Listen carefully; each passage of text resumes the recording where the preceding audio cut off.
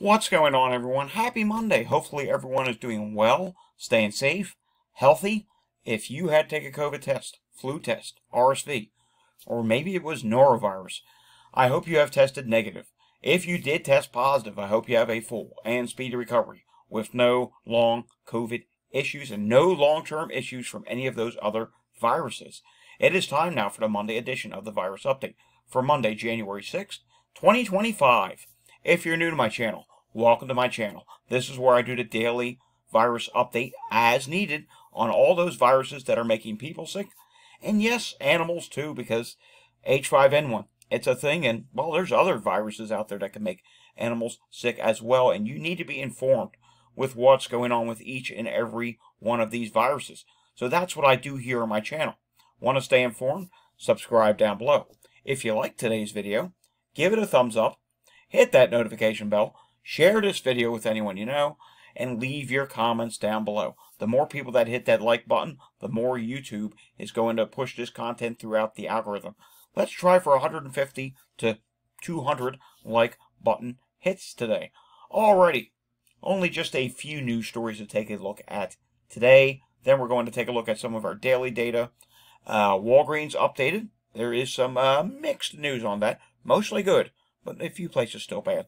Then we're going to take a look at some wastewater, and we'll end the day on New York State. So I think this is going to be somewhere between a 15 to 20 minute video today. Not a terribly busy news day, and hopefully we are starting to come to the backside of things now. Because if you've been watching my channel, the last two weeks, news has been really busy, which is why we have been just every day. And once things finally do slow down, maybe within a few weeks from now, we'll go back to uh, skipping a few days on these updates, unless it is a busy news period, and then, of course, we will continue every day. Alrighty, I got to read this first story to you. Not so much the story, read the headline. Is this what we're calling it now? Sneezing season. COVID 19, flu, RSV spreading, but other respiratory illnesses out and about also. Sneezing season. That's a new one. Sometimes they call it sniffling season, illness season. Oh, it's sickness season. Well, now it's being called sneezing season. Wintertime illnesses are spreading throughout the state. This is in Virginia and in Southside Virginia, sending more people to the hospitals. But officials say it is normal for this time of year. It is normal. It wasn't normal for COVID until 2020 because COVID wasn't a thing before then. But get this, across the Commonwealth, meaning Virginia, confirmed cases of COVID-19 are up 29% according to Virginia Department of Health. Positive tests for flu are up 49%, so flu is going up. And RSV has increased by 21%. Pneumonia is also an issue. So, yes, there are several different things going on in Virginia at this time. In North Carolina, five flu deaths have now been recorded in a single week, most uh, of current season, and this was for the week ending on Saturday, December 28th. In Quebec, it is measles that is the issue. Four new cases of measles in Quebec after contagious person traveled to Canada, and everything, all these news stories will get uh, posted in a small thread on my site so you can read the full stories. We often don't read full stories while doing the video because, well, if I read to you every story that I shared, uh, my videos would be well north of a half hour. No one wants to sit through a half hour video. Taking a look at Canada, and we will see that the respiratory levels, the viral activity levels, COVID is moderate. Let's refresh this just to be sure this is up to date. Yep, COVID is moderate, flu A is high, flu B is low, and RSV is still coming in at high at this time. So that's flu A and RSV still coming up as high in Canada for this time. Over on my website, not much to show you for today. Uh, I have made a few tweaks to the COVID positive archive. Um, I've been slowly adding more of those uh, date stamps into the titles of COVID positive, and I did find that uh, U.S. Representative Judy Chu, I did not have this in my uh, archive previously. I had her case in there, but it turned out when I was trying to uh, fix this because the uh, source was missing, I found that, hey, she had another case. So she's actually twice positive now.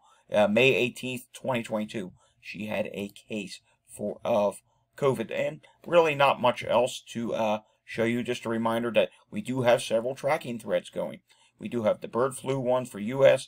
and international. We have U.S. sports, international sports, and we do have the list of performers, which so far just only one entry in there. I haven't seen any others. And of course, I do post on here, and I need to show you this. Ever want to read the full stories of what I'm posting or what I'm showing you in the updates? Well, here it is right here. You can just click on one of these threads. For example, here's Sunday's thread.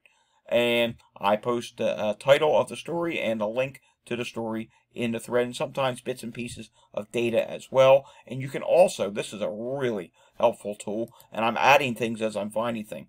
Here's a list of a lot of the data pages that I use on here. The UK, uh, some of the state dashboards, air quality, all listed right here. So this is a really good page for you to check out if you want to view some of the data on your own. Because I often get questioned, can I link this? Can I link this? Well, I do have this right here. And I just added a few more things that I've been using as of lately. Alrighty, moving on now to air quality. So let's see what they show.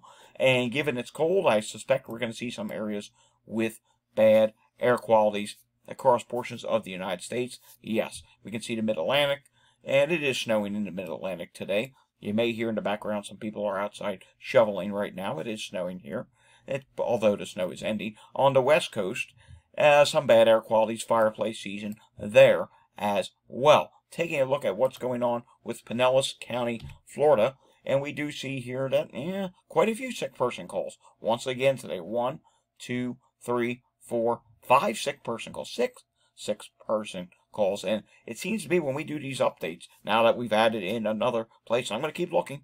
I'll see if anywhere else in the United States has a CAD or some sort of a reporting system. But uh, seems as if there's always a lot of sick person calls. And in case you do not know where this at, this is Pinellas County, Florida, which is uh, St. Petersburg, Tampa Bay area in that general area. I think it's more so St. Petersburg that this uh, covers on here.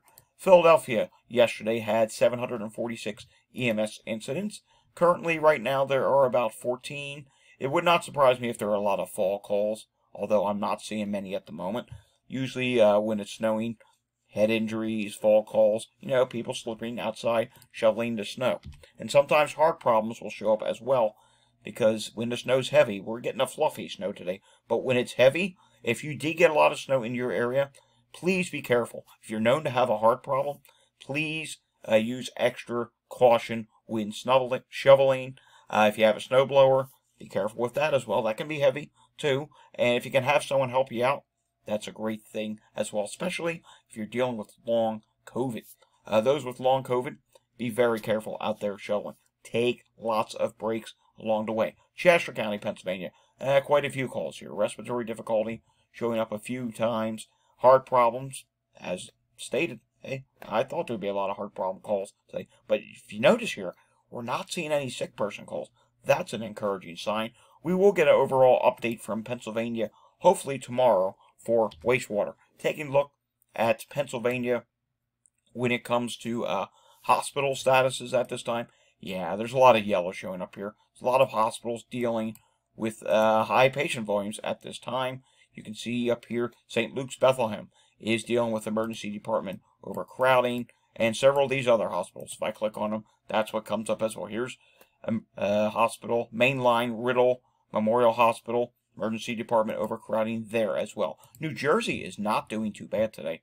Uh, we see, well, actually, this has changed.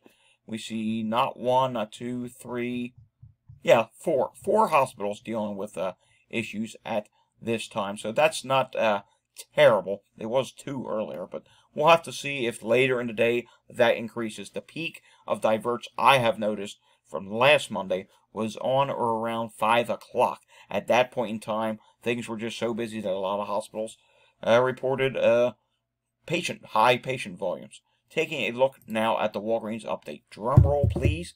Good news here. The national COVID positivity rate at Walgreens dropped this week. 15.2%. The prior week was 16.6%. Difference of down 1.4%. Total tests, 6,670. The prior week is 7,000. Now, there's a couple things to take note of here. First off, uh, testing will likely drop from here on out. And second off, we are likely to probably um, see back to school starting up, back to the office.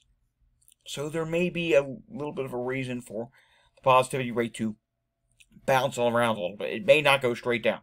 It may bounce, maybe go up a little bit again next week, and then go back down the following week. We'll just have to see because testing, now that the holiday's over, testing is going to decrease, and there's some of these back to, you know, winter break being over, things going back to normal. That may cause a little continued transmission, and then all eyes down the line become uh, what happens with these future variants. There are a few future variants that are trying to compete to take over XEC. Uh, with less travel, they may not do much, but then again, only time will tell. So let's take a look at a few states here.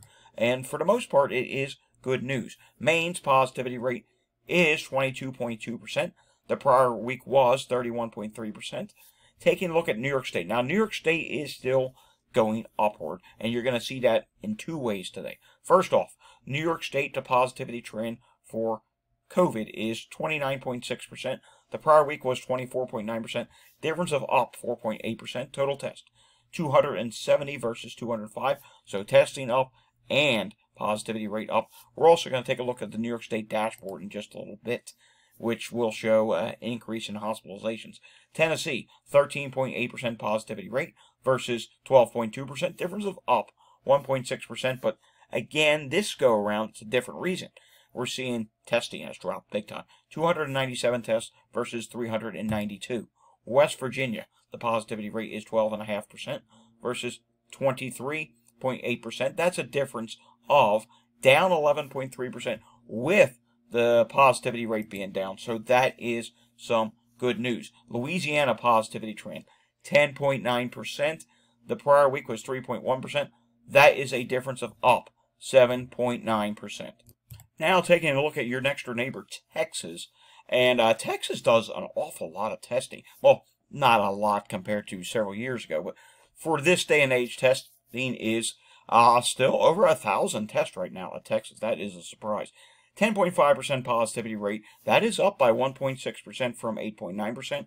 Uh, 1,115 tests versus 1,069. So no peak just yet in Texas. Uh, New York State had not peaked. How about what's going on in Nevada? Have you peaked? Well, looks like you had a problem with testing. You don't do very much. 8 test versus 11. That's why we see this up and down motion. 12.5% positivity rate versus 9.1%. That is up 3.4%. You're getting a general idea here. There are a lot of states that definitely are peaking. Then there are some states that mm, still are going to need another week or two. Utah uh, looks like you might be peaking. 10.2% positivity rate versus 24.3%. That is a big drop. Down by 14.1%. Total test 49 versus 37. Let's go up to Michigan now, and we're seeing drops up in the Great Lakes. This is a really good sign because the Midwest, the Great Lakes have been getting hit hardest. 22.2% positivity rate versus 32.9%. Difference of down 10.7%. Total test 185 versus 158. And remember, folks, this uh, data at Walgreens, this is just a small sampling size. When we look at other data from states, it can show different things. So don't just look at Walgreens, uh, what I'm showing you here, and say, oh, well, Walgreens, everything's fine. No, no, no, no. Don't make your local risk assessment just based off of what Walgreens shows you. Let's take a look at some wastewater sites on Wastewater Scan. In Bridgewater, New Jersey, we see COVID. Now, levels here are not calculated for any of the viruses, but we do see COVID is still rising. RSV may be a sign of a peak. Influenza A is still rising. HMPV is low at this time. Norovirus is still running high. And a quick word about HMPV. Let's finish this uh, wastewater site first. Mpox, no detections. HMPV does appear to be uh, spreading a bit more than normal over in China at this time. And I did hear that there was now a positive case for it in India as well. HMPV has been around for a long time. You may see a few news stories circulating I was a victim of finding one yesterday and accidentally shared it. Didn't catch myself until several hours later. But uh, I saw MSN and a few other outlets were saying new COVID outbreak starting over in China.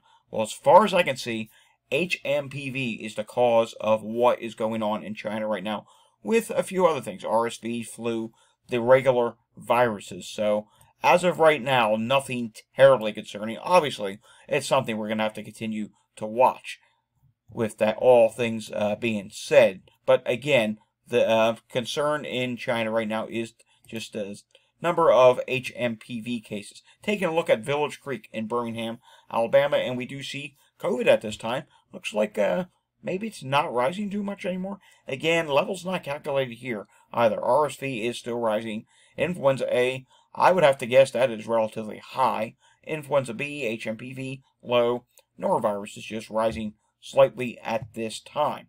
Let's take a look at another wastewater site. Let's go somewhere out into the west coast, shall we? Let's take a look at Las Vegas. And in Las Vegas, we do see COVID is listed at medium. Does look like maybe it is starting to drop now. RSV is listed at high. Still might be a rise for that. Influenza A is high and still rising. Influenza B is low, HMPV is low, and norovirus looks to be, it has peaked and is starting to drop. No Mpox at this time. All right, let's do a few individual states for COVID from the CDC. And starting off here with Alabama, we can see that levels here are rather high, and the actual state listing is coming up at high in Alabama. Let's take a look on the West Coast now. Uh, California, here it is. And California, when it comes to COVID, overall is low at this time. You do see, though, there are some wastewater sites that are coming up with high levels at this time. Illinois is coming in at very high. Well, there's a reason for that. We're not seeing a lot of uh, wastewater sites reporting, just a couple in Chicago. So that translates to very high. Look how many are grayed out. Grayed out means that they did not report over the Christmas holiday. Taking a look at Hawaii, if we can. Minimal for COVID in Hawaii at this time. Taking a look at Connecticut, we're just randomly going through some states. We will go through some more states tomorrow. Connecticut is coming in at high at this time. Let's also take a look at some RSV data at this time. We can see nationally, RSV did peak, and we can take a look at individual states. And we can see Alabama for RSV at this time is listed as high, Let's go to Delaware. What's going on there? Delaware is listed low at the moment. Let's go out to, how about Kentucky? Kentucky, well, no data coming in from there. Missouri, we need something from Missouri because we honestly do not get enough data from Missouri. And can we click on Missouri here? There it is. There's Missouri, and unfortunately, no data. I don't understand why some states just won't report. I can understand it was the holidays, but uh, some of these states just constantly do not report. Very high for RSV in Pennsylvania. That's mainly because of the wastewater sites in southeast Pennsylvania. Not a good thing to see there. All right, moving on. We'll take a look at some more of this tomorrow. New York State, 1,253 new positive tests. Taking a look at what's going on with their hospitalizations. And that did go up again, 886.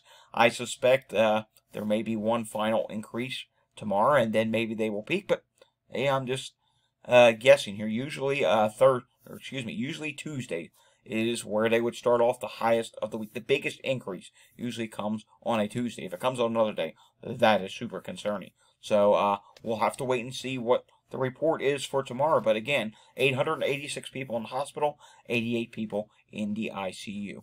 Alrighty, folks, that's all I have for today. We'll have another update again tomorrow. If you enjoyed this update, give it a thumbs up. The more people that do that, the more YouTube is going to push this throughout the algorithm. Of course, share this with anyone you know. Leave your comments down below. I will see everyone again next time.